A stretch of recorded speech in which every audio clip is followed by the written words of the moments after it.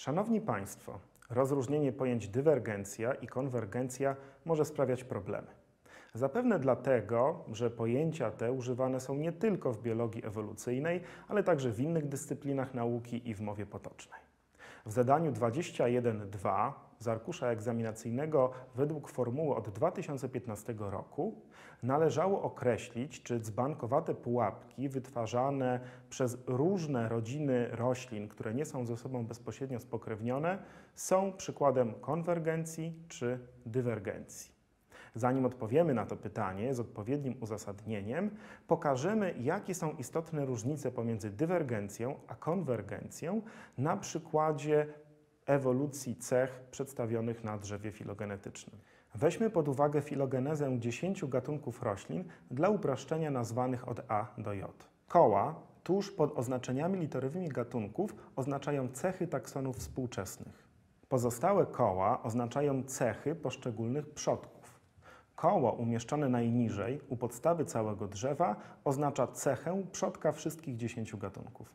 Jeżeli grupa taksonów pochodzi od jednego wspólnego przodka i obejmuje wszystkich jego potomków, to taką grupę nazywamy grupą monofiletyczną. Fragment drzewa obejmujący taką grupę nazywamy kladem. Weźmy pod uwagę następującą historię ewolucyjną. Przodek wszystkich dziesięciu roślin miał kwiaty białe, ale tylko u jednego ze współczesnych gatunków, gatunku J, zachował się stan pierwotny ewolucyjnie. Pozostałe współczesne gatunki mają kwiaty czerwone, żółte lub niebieskie, a ich przodkowie nabyli w toku ewolucji nowe cechy. Kwiaty żółte i niebieskie wyewoluowały z kwiatów białych, a kwiaty czerwone powstały z kwiatów żółtych. Taki przebieg ewolucji, gdzie wraz z czasem występują coraz większe różnice między grupami wywodzącymi się od jednego wspólnego przodka, nazywamy dywergencją lub ewolucją dywergentną. Czasami podczas różnicowania się grupy dochodzi do niezależnego powstania takiej samej cechy w dwóch lub więcej niespokrewnionych bezpośrednio kladach. Przyjrzyjmy się nieco zmodyfikowanej historii ewolucyjnej barwy kwiatów.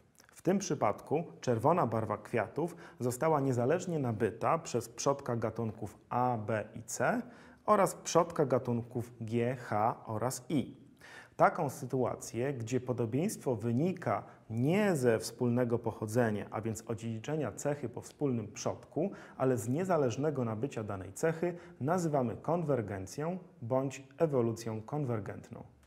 Zjawisko to zasadniczo dotyczy grup odlegle spokrewnionych, a dana cecha powstaje z różnych stanów wyjściowych. W tym przypadku kwiaty czerwone wyewoluowały raz z kwiatów żółtych, a drugi raz z kwiatów białych. Konwergencja często jest spowodowana adaptacją różnych grup do podobnych warunków środowiska. W tym przypadku mogło być tak, że kwiaty czerwone powstały dwukrotnie niezależnie jako adaptacja do zapylania przez ptaki, które to preferują czerwoną barwę kwiatów. W szczególnych przypadkach, kiedy dana cecha zostaje niezależnie uzyskana przez stosunkowo blisko spokrewnione taksony, z tego samego stanu wyjściowego mówimy o ewolucji równoległej bądź paralelizmie. W tym przypadku kwiaty czerwone powstały dwukrotnie niezależnie z kwiatów białych.